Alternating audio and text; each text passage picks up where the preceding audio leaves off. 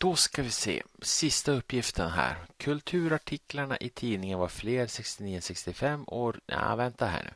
Här kommer jättemycket information och det här klarar man inte av att ta i huvudet på en gång. Så det jag gör är att jag går och tittar på svarsalternativen och markerar dem i diagrammen och så sen så kör jag Eh, uteslutningsmetoden och stryker bort alternativen allt eftersom att de faller bort. Till sist så måste det finnas ett alternativ kvar då om jag har gjort rätt här. Så jag tittar Göteborgsposten och så tittar jag i tolken här Göteborgsposten, det är GP. Så tittar vi, där har vi den. Sydsvenska Dagbladet, SDS. Den har vi där. Aftonbladet är väl AB, AB. Och Göteborgstidningen är GT, GT. Så har vi den där. Och sen då kör vi varje påstående eller varje delinformation för sig. Kulturartiklarna i tidningen var fler 1969 än 65.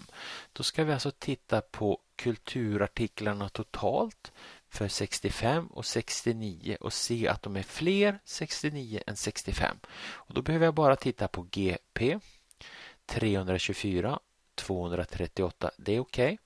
Så tar vi nästa SDS 306 344. Ja, de är fler där. Aftonbladet 227 281, ja det är okej. Okay. GT 164 159. Här stämmer det inte. Det är fler där än vad det är där. Så det där alternativet går bort. Så fortsätter jag. År 1960 publicerades en majoritet av kulturartiklarna på tidningens kultursida. Så tittar vi kultursidan, det är K 1960. Då tittar vi här, kultursidan.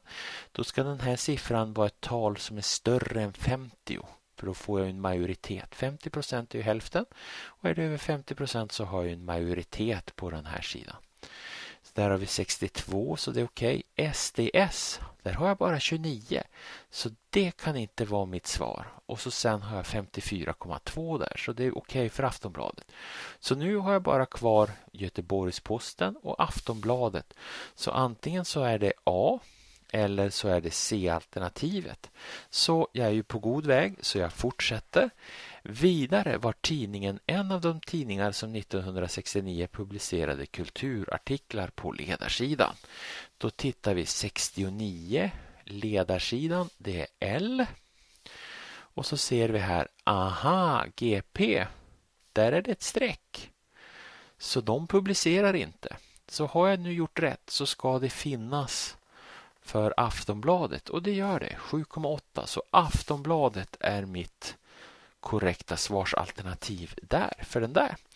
Jag hoppas att ni har hängt med. Jag ska ta en kopp kaffe och gå i säng för klockan håller på att bli sent. Och ja, jag kan dricka kaffe och gå och lägga mig sen. Det är inga problem. Jag önskar er lycka till med era studier för högskoleprovet och hoppas ni skriver ett bra resultat. Vi ses!